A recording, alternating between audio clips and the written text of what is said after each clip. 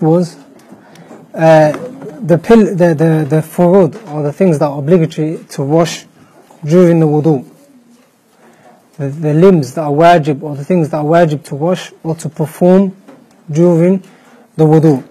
Washing the face, the hands, wiping the head, uh, washing the feet, doing it in order, tartib, and the sixth one being doing it in maintain, or maintaining close sequence, al-muwala. Um, then we mentioned the verse that Allah subhanahu wa ta'ala says, Ya amanu idha qumtum ila salah. That is the evidence for wudu. So if anyone asks you, what is the evidence for wudu? Or if you get asked that in the test, the answer is the verse in Surah Al-Ma'idah, uh, where Allah subhanahu wa ta'ala says, Ya alladhina amanu idha qumtum ila salah. If you stand for the prayer, then wash your face. And so on. Um, and that's also the dalil for tartib and that's also or the dalil for muwalat, maintaining close sequences, um, the hadith of the lum'ah, the hadith of the coin in which the Messenger ﷺ saw one of the companions who had not washed a part of his foot. And then the Messenger ﷺ commanded him to wash it again. طيب. Since we're talking about wudu, if we quickly talk about al-ghusl. Ghusl has its reasons obviously, whether it's janaba, person falling into janaba, whether it's the ending of the menstruation cycle, the menstrual cycle, or the ending of a nifas, postnatal bleeding. طيب. These things طبعا require ghusl. Ghusl means to wash one's body with water. Making sure that water reaches every part of one's body. That's the meaning of al-ghusl. It is of two types meaning there are two ways in which a person can perform ghusl. The first type is the ghusl which is mustahab or sunnah. And its description is that a person performs wudu as normal, goes into the shower, and then pours water over himself or herself. Starting from the right three times and then making sure that the water reaches every limb or every part of the body. That's the ghusl which is sunnah. Inshallah we'll see it in more depth in some of the other books. The second type of ghusl is the ghusl which uh, suffices. The ghusl which suffices. طبعا it is less in reward than the first one, lakin it suffices and it, it's okay for a person to perform it and then start start praying and the person becomes tahir with it. And that wudu, or the descript, its description is that a person pours water over himself or herself. Now a person pours water over themselves. While washing tab'an, the mouth, rinsing out the mouth and the nose. In no particular order, just going into the bath and making sure that everything becomes wet That's the second type of ghusl. طبعا. Um, the Shaykh is now going to move on to the things which nullify the wudu. Where does Shaykh say that?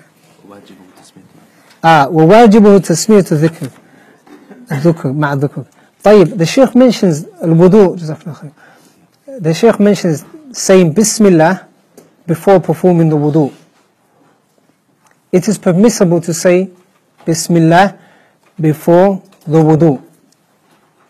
Some of the scholars mention that the hadith in which the Prophet ﷺ said, uh, the one that doesn't, there's no wudu for the one that doesn't say Bismillah. Some scholars say that hadith is weak. Um, therefore, it hasn't reached, or it can't be called a wajib. Also, if you look into those that describe the wudu of the Messenger sallallahu more than 30 companions, they never once mention that the Messenger ﷺ said Bismillah.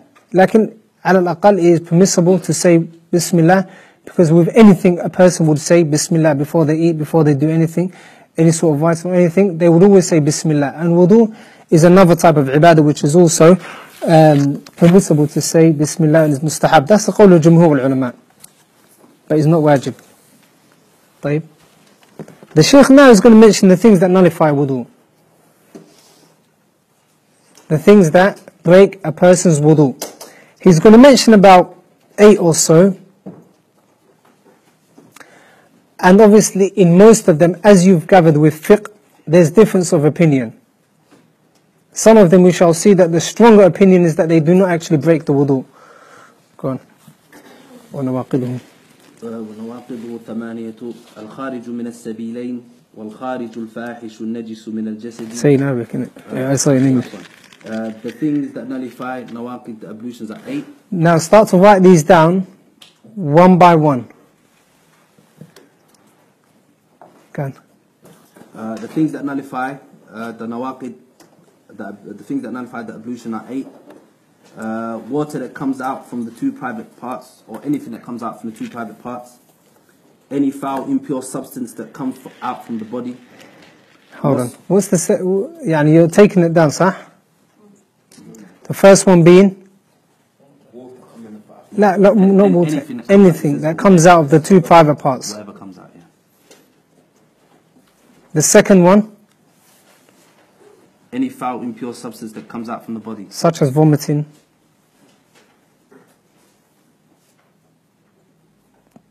The third one? Loss of consciousness. Loss of consciousness. The fourth one? Touching a woman with a sexual desire. طيب. Say it again. Touching a woman with sexual desire. That's the fourth one that the Sheikh mentions. And the fifth one, touching one's private part with the hand, whether it's the frontal or the real private part. طيب. That's the fifth one. The sixth one, Eating, uh, eating the meat of camels. camel's meat, طبعا. Camels. طيب. The sixth one, Seventh. Uh, seventh, seventh. bathing a diseased person. And Or the washing a diseased person. washing a diseased person. Meaning the person who has died, if you wash a person who has died, then the Sheikh is saying that you need to perform wudu from it, and it breaks the wudu. Go on. Uh, the eighth is apostating from Islam. Allah protect us from that. Amin. And that is the eighth one, sir? Or the seventh one? Eighth, that's the last. one. Eighth one. Okay. طبعا some of these things, uh, or in, all- in most of them, there's a difference of opinion. Like we'll be mentioning, in quick summary, without طبعا mentioning the evidences for it in too much in detail. Because the kitab طبعا is summarized, so we'll keep it summarized. The first one, al-kharij min al-sibilayn. Anything that comes out of the private parts. Anything that comes out of the private parts causes a person to lose their wudu. طبعا the things that come out of their private parts number one number two madhi mani wadi menses postnatal bleeding istihada all of these things come out of the private parts of the human being male or female they nullify one's wudu. The evidence is the statement of the Prophet sallallahu alaihi wasallam: "لا يقبل الله صلاة أحدكم إذا أحدث حتى يتوضأ." That Allah subhanahu wa ta'ala, Allah subhanahu wa ta'ala will not accept the wudu, uh, the salah of any one of you if they fall into hadath. Hadath is these things that we've just mentioned, unless they perform the wudu. So if anyone, in this hadith, the Prophet sallallahu alaihi wasallam, hadith sahih, if anyone falls into these things, or the things that nullify, or that come out of the private parts of the human, then they need to make wudu, or their salah will not be accepted. As the Messenger sallallahu alaihi wasallam said in that hadith.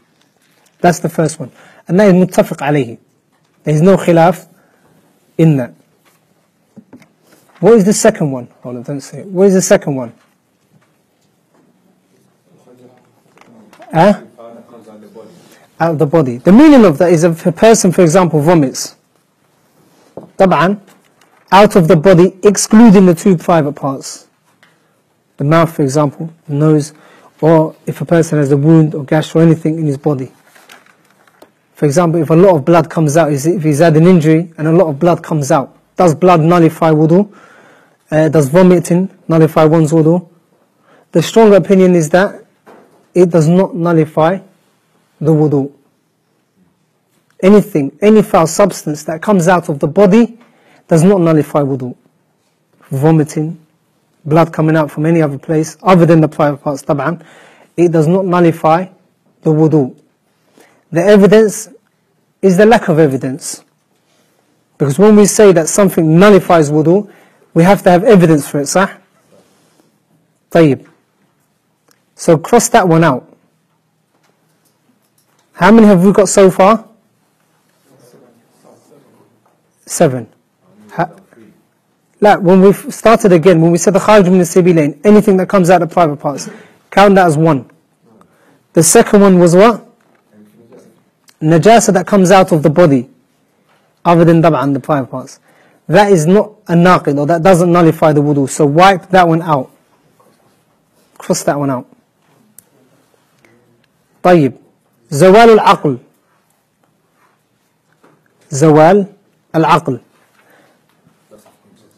loss of consciousness such as a person who is asleep falling into deep sleep or someone becoming drunk as the hadith said that we came past رفع القلم عن ثلاثة that the pen has been lifted from three the person that is asleep until they wake up or the person that is insane and this is a naqid, and it nullifies the wudu if a person loses consciousness.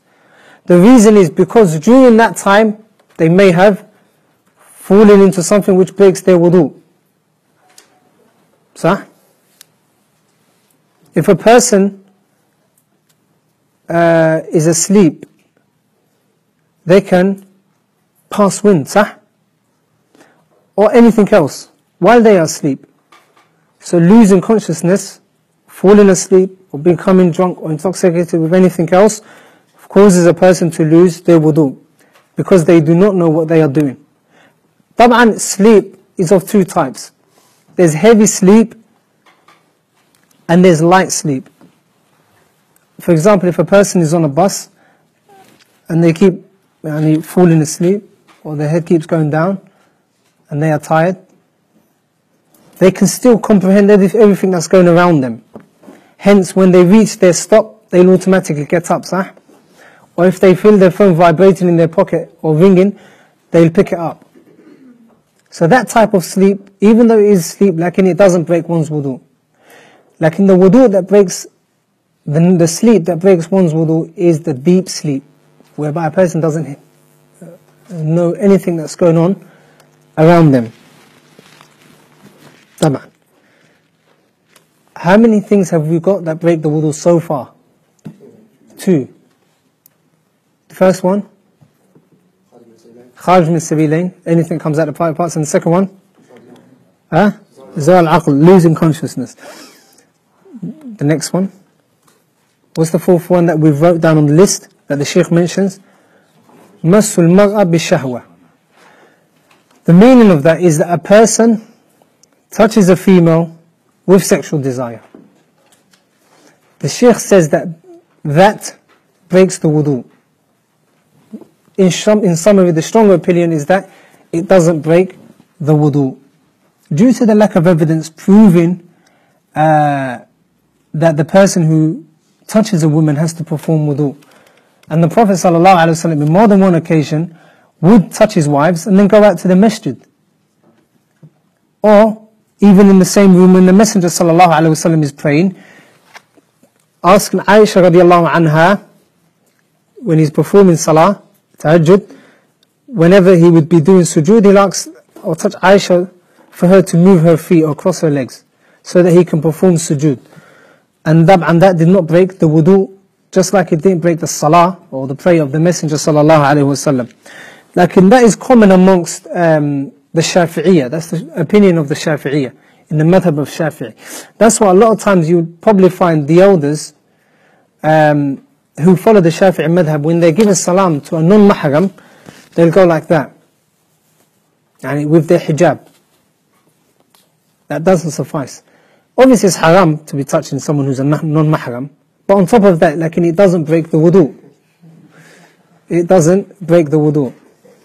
Whether you do it with a with a ha'il, with a hijab or anything, or whether you just touch it straight, then it doesn't break the wudu. So cross that one out. أو لامستم النساء, the verse, أو لامستم النساء الجماع. The meaning is الجماع, intercourse.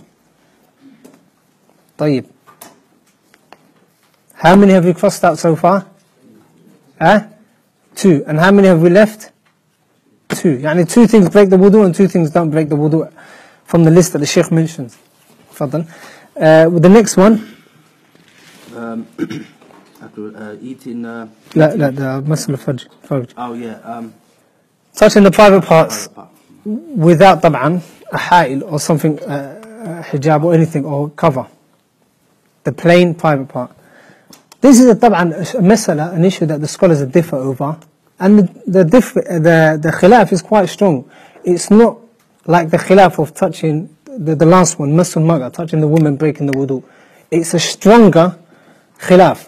Because there are ahadith in, in which the Messenger of Sallallahu Alaihi Wasallam said, من مس ذكره فليتوضأ. The one that touches his private parts, فليتوضأ. Commanding the messengers, the, commanding the Muslims to wash or perform wudu if they touch their private parts.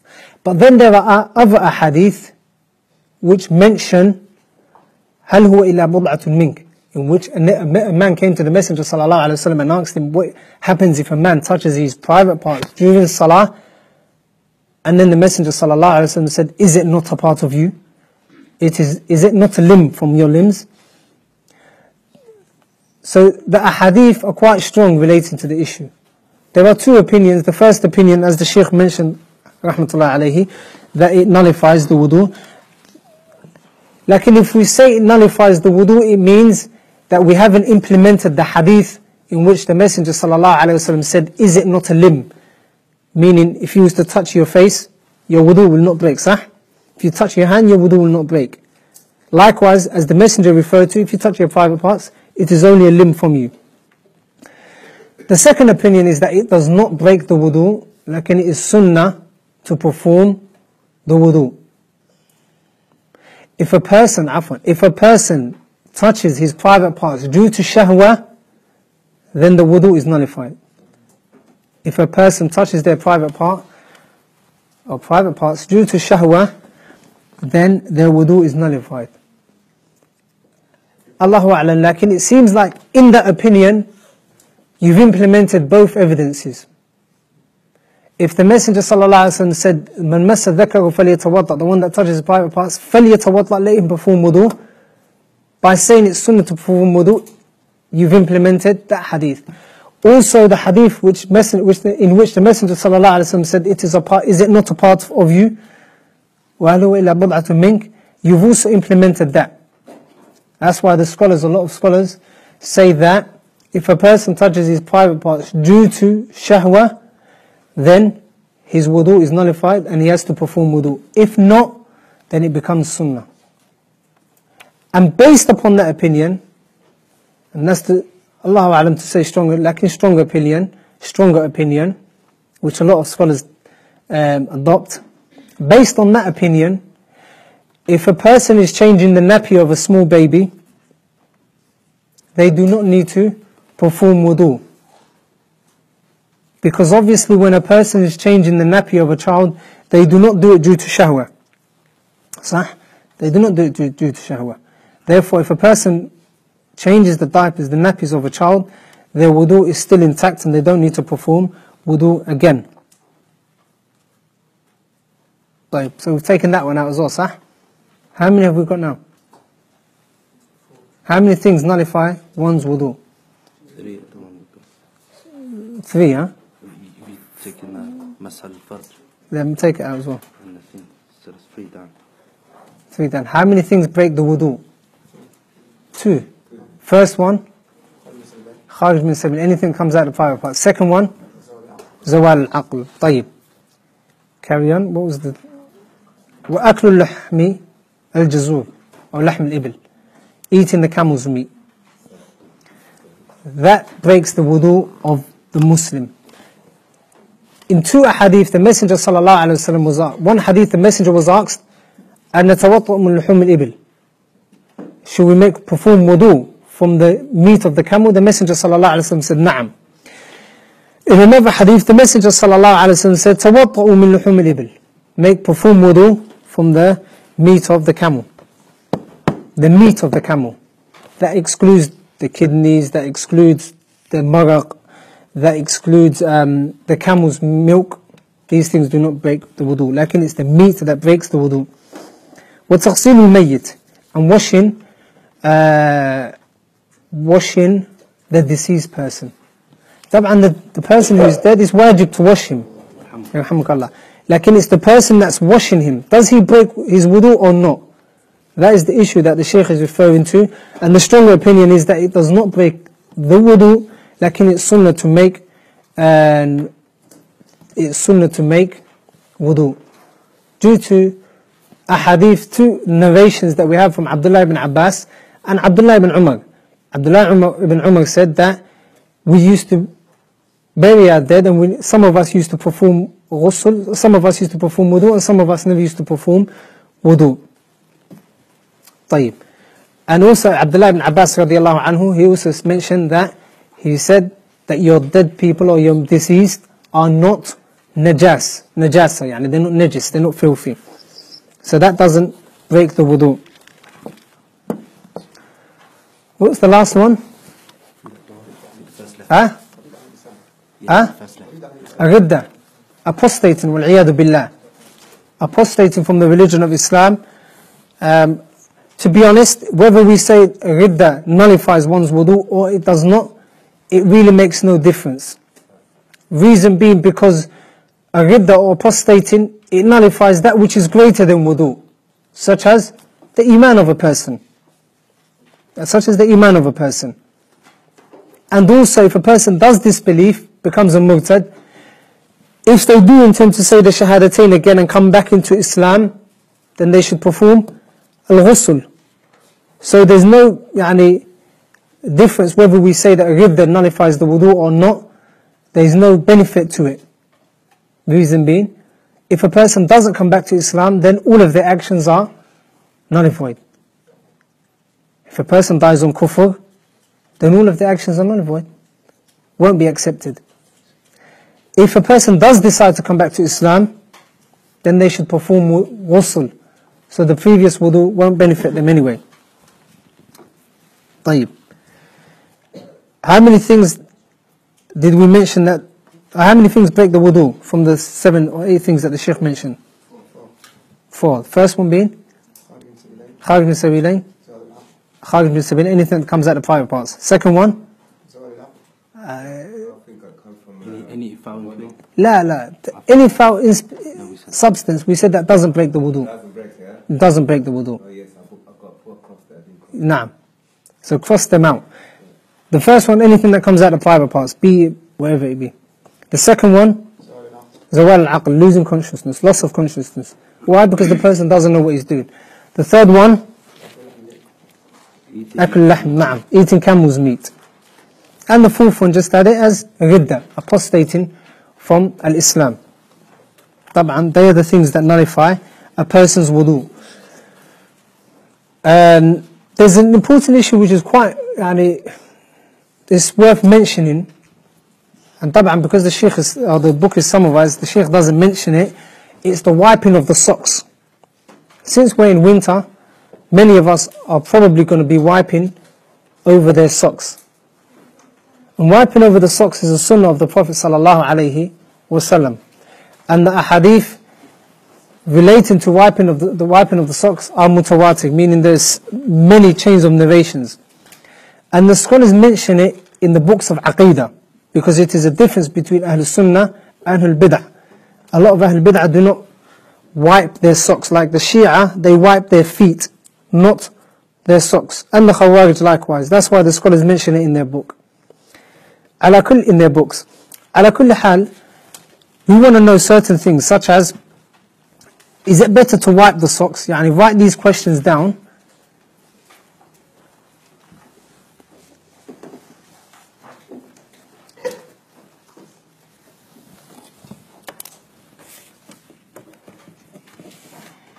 The first question can we only wipe due to a necessity? The first question, can we only wipe due to a necessity?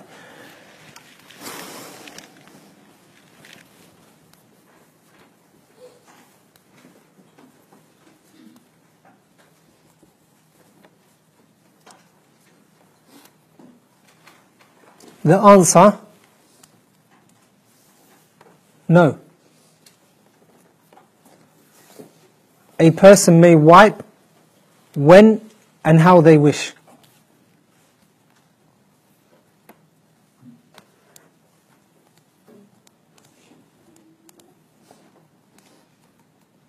And the reason why I mention that question is because some people say you can't wipe because if you're if you're a resident and you're living in your city and you're you're not traveling, then you can't wipe over your socks.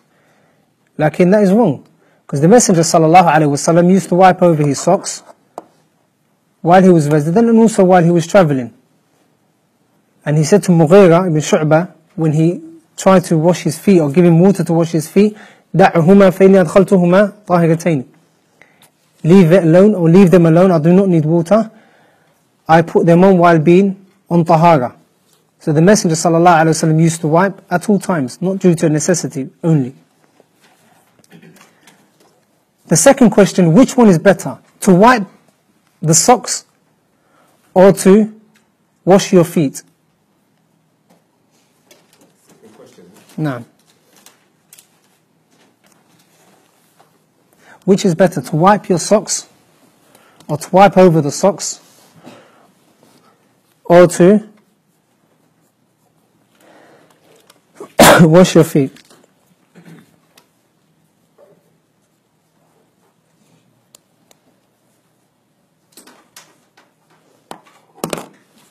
I'll explain the answer and you can write it in your own word. In short, we can't say that this is better, nor this is better. It depends on whichever state you're in. So for example, if you're at home and you find yourself not wearing socks, then it's better to, and you want to perform wudu, then it's better to wash your feet. Likewise, if you find yourself wanting to perform wudu and you've already got socks on, then it's better to wipe over your socks.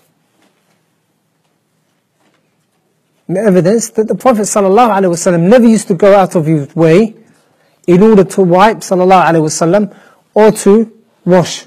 In whichever hal he was in, whichever situation he found himself, then he would do that which was deserving. So if he was had his feet, if he had his shoe socks on, then he would wipe over his socks. If he didn't have his socks on, then he would wash his feet.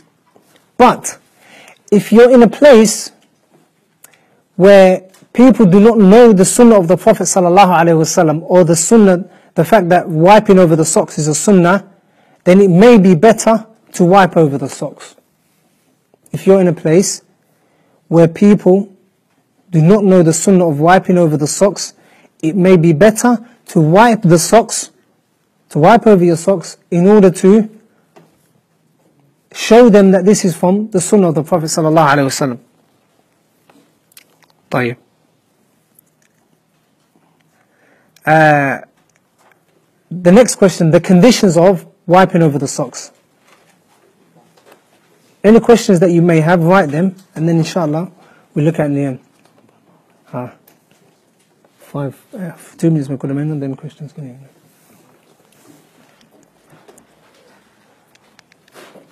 The first condition that a person has to put them on while being pure. Meaning while already having wudu, they should put these socks on, put their socks on. So if a person, for example, wakes up in the morning without socks, they can't go pick up a pair of socks, put them on, and then wipe over these socks. Because you need to be on tahara, you need to be on full tahara before putting on the socks. The second one is that you can only wipe if you need to perform wudu. Whereas if you need to perform ghusl, then you should take them off. Because ghusl requires you to wash every limb, every part of your body. The third condition is that you remain within the designated time. For a traveler, 24, uh, 72 hours, three days for the traveler. As for the person who's resident who's not traveling, 24 hours. Okay. The next question. when does the time of the wiping start? We said the person that's not traveling like us right now, we've got how long? 24 hours. When do these 24 hours start? The answer is the first wiping or the first time you wipe the socks after breaking your wudu. The first time of wiping your sock, wiping the socks after breaking your wudu. So for example, if a person performed salat, woke up for Salat al-Fajr, washed his feet as normal, you washed your feet as normal, and then you put your socks on, went to the masjid, came back, you broke your wudu at 8 o'clock for example, then immediately you renewed your wudu at 8 o'clock, and then you wiped over your socks. That's the time that your 24 hours starts. So it doesn't start the time that you put your socks on. Nor does it start the time that you break your wudu. Lakin it starts the first time you wipe over your socks. After that, I'm breaking your wudu. There are several other things relating to al-mas'al al-khuffayn Inshallah, hopefully we'll discuss it in the next lesson and we'll carry on from there. Since there's five minutes left, we leave that for any questions and answers. وبالله توفيق. طيب again sisters write your questions down بارك الله فيكم تفضل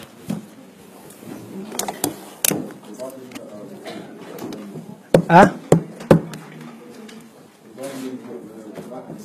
Yeah. That's a good question. The scholars in the books of fiqh, the question is, can a person wipe over ankle socks? From the conditions that the scholars mention for wiping over the socks is that they cover the foot completely, right up until يعني فوق above the ankles. Now, uh, ankle socks or trainer socks, they do not cover the full limb. They do not cover the foot. So a lot of scholars give the fatwa that it is not permissible to wipe over them, ankle socks.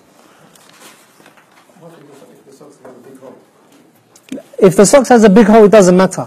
As long as it can be called socks. As long as it can be called socks. Whether they are loose, whether they are see-through, as long as you can call them socks, even if they're very thin, as long as you can call them socks, then you can perform wudu over it. Because the Sahaba weren't, yani, some of them had socks that were ripped. Ridwanullah ta'ala alayhim. And the Prophet sallallahu alayhi wa never prevent, prevented them from performing wudu.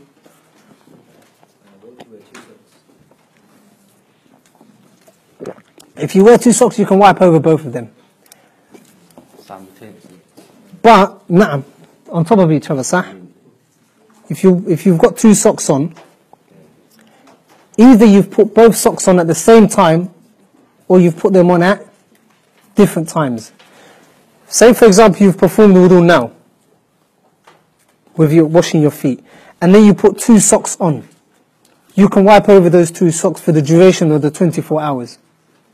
But, if you put on one pair of socks, carry on, you break your wudu, and then you wipe over that one pair of socks. Then a few hours later, you put another sock on top of it, or two pairs of socks on top of them. You may not wipe over the top pair.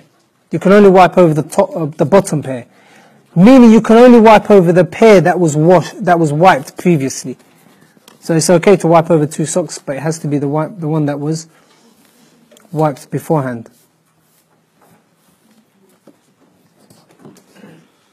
um, yeah, Ask them if they've got questions. Sisters, if you got any questions, if you can pass it to the front table, inshallah. Huh? La, if you're accountable for, are you accountable for what you do not know? La, if a person doesn't know something, uh, then obviously they can't be held accountable. ما كنا معذبين حتى نبعث رسولا. Allah Jalla wa ala says. But Allah says we're not ones that are going to punish until we send a Rasul. So if a person if a person doesn't know the ruling of a certain act and he falls into it, then inshallah they will be forgiven as long as they do not know. That's called udhr bil jahl. If a person doesn't know it, the ruling of an act, they shall be forgiven.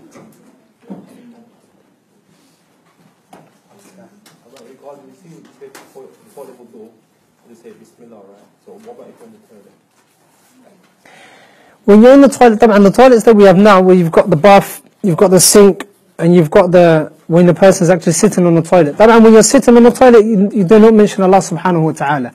Like if you're performing wudu next to it or in the bath, then it's okay. You can perform, say Bismillah.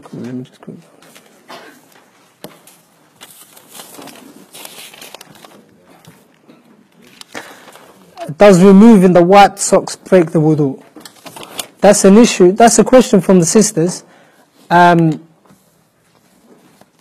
hopefully we'll discuss it next week. Like, you know, I've noticed all of the, a lot of the knowledge-based questions that the scholars have a lot of differences. I always find them coming from sisters, mashallah.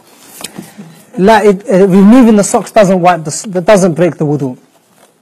So, for, for example, if a person wipes over their socks and they're on full wudu, then they take the socks off, they do, it does not nullify the wudu. And the example of it is, for example, if someone was to wipe over their head and then a few minutes later shave, shave the head, then we don't say that your wudu is nullified because you shaved your head. Lakin, the wudu is um, correct. When changing the baby's nappy, doesn't the thing that comes out of the pure? The question is, when, the, when changing the baby's nappy, doesn't the thing that comes out become impure, therefore nullify the wudu? Uh, relating to the topic of if a person touches najasa or changes the child's nappy, then it doesn't break your wudu. Because even if you touch an impure substance, if you touch urine which is there, if you touched it, urine is impure طبعا. It's a najasa. Even if you touch the urine, it doesn't nullify your wudu. Yes, it's disgusting, lakin even if you touch something which is najasa, then it doesn't break your wudu. Changing the child's nappy does not also break the wudu.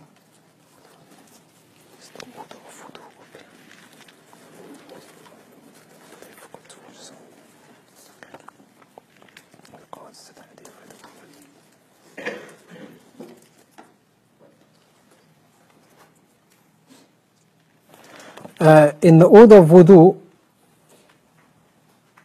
in the order of wudu, if someone realizes they forgot to wash somewhere, should they start again? Now, if we say that condition, if we say that uh, wiping or the washing of these four limbs have to be done in order, then if the person forgets the order, then they should start again. For example, if a person starts with wiping the head while forgetting to wash the face or the hands, they should go back, wash the face, then the hands, then the head, then wash the feet. But that is with regards to the four limbs. As for if a person washes his left hand before his right hand, then that is okay. They, they do not need to repeat it. With regards to the hadith where the woman asked if her child can go to Hajj, is there Hajj for him? Yani will be, he will be rewarded? How do we know that this did not count as her Hajj?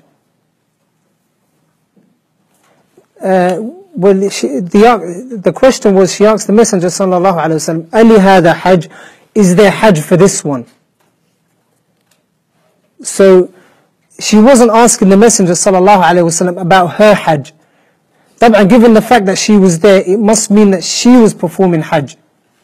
But the question that she was asking the Messenger sallallahu alaihi wasallam is, is there Hajj? Meaning, is there reward for this small child? So her Hajj, inshallah, will be correct because she was probably performing Hajj given the fact that she's there in the first place. A question?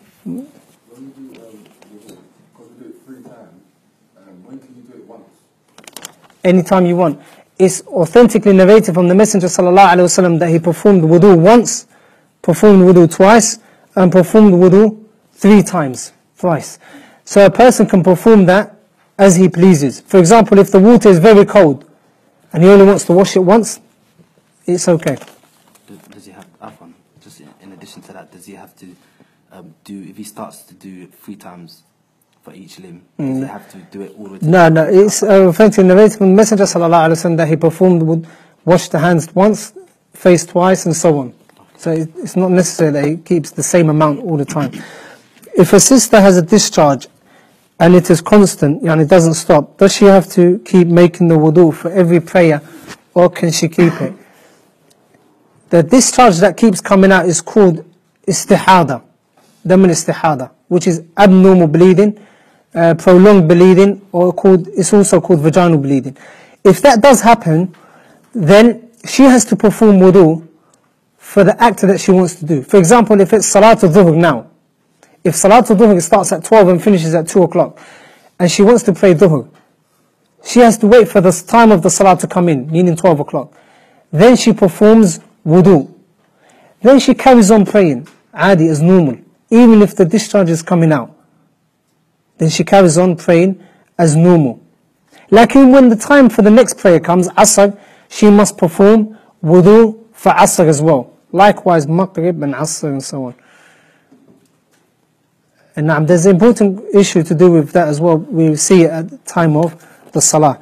If a sister needs to make and is wearing hijab and can't take off due to non-mahram present, can she wipe over the hijab so on for and so on for the arms? If a sister needs to make wudu and is wearing hijab and can't take it off due to a non-mahram being present, can she wipe over the hijab and so on for the arms? In authentic hadith, Umm Salama, I believe it's Umm Salama, she mentioned or she done the wiping of the khimar, the hijab. She's done the wiping of the hijab.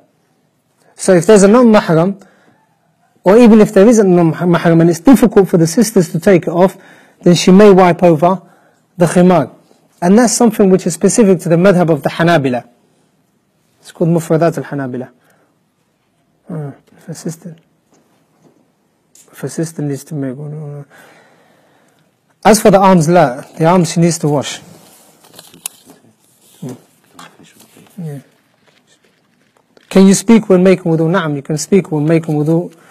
Also when making ghusl, but obviously the person needs to make, when making ghusl you'd be taking a shower. But if you're making wudu, you can be talking. Naam, for example, someone can be standing there, someone there, they can be talking while making wudu. And it's also not a condition that a person covers their awrah during wudu. Is the wudu of someone who has tattoos in the areas where wudu is performed accepted? Is the wudu of someone who has tattoos in the area where wudu is performed accepted?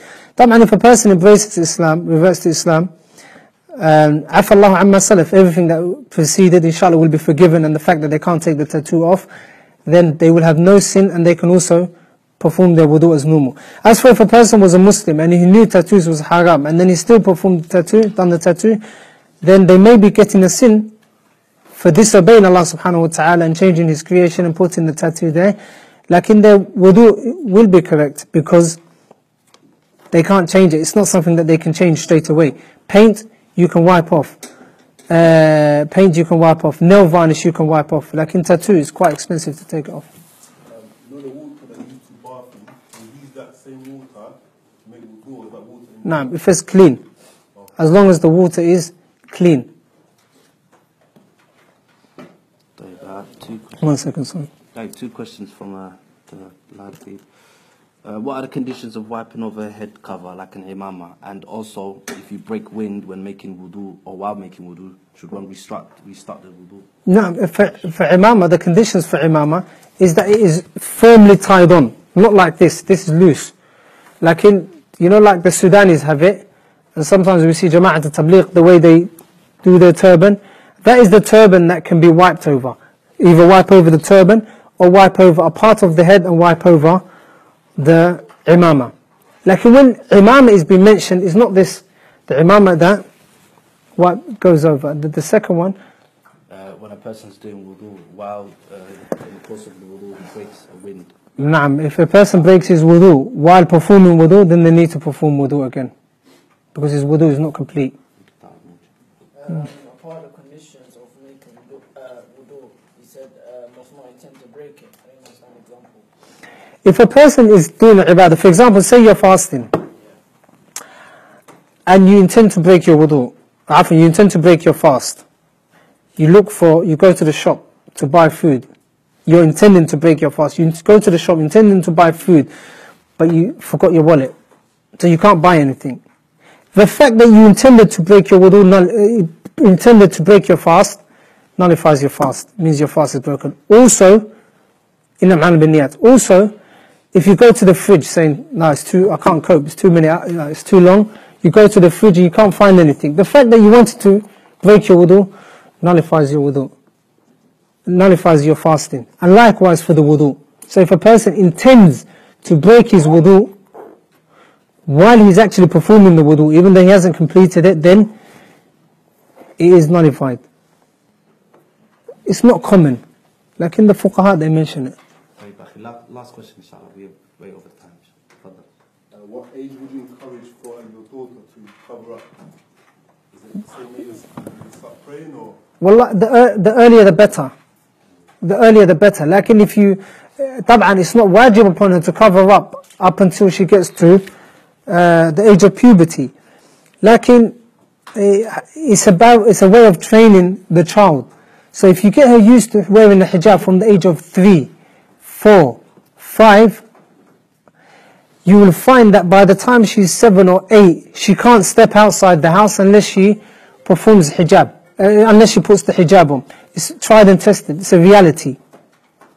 If she puts the hijab on, or if you tell, teach her to put the hijab on at two or, afwan, at three or four or five, by the time she's seven, she wants to put the hijab on, and when she wants to go outside, she won't perform, she won't go outside without hijab. So the earlier the better. Likewise the salah. In general, anything, anything in tarbiyah, anything that you want to get the person to do, the earlier the better. Because when they're young, they can get used to it. Such as waking up for Salat al-Fajr. If a person wakes up, uh, or even a fa- even fasting, the Salaf, they used to force their children to fast Yom al-Ashura and the fast in general. Getting them used to it. And whenever they would get hungry, they give them a little toy to take their mind off it. So the earlier, the better. Like if a person waits till she's 15 and then forces it upon her, if she doesn't want to wear it, then he can't blame anyone but himself. سبحانك اللهم وبحمدك أشهد أن لا إله إلا أنت أستغفرك وأتوب إليك. الله يبارك فيكم. What